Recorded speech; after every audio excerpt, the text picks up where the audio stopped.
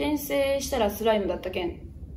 ていうやつと、テンスラって言うんですけど、テンスラと、ノーゲームノーライフ。今、あ、ドクターストーン。あ今、シーズン2が今やってて、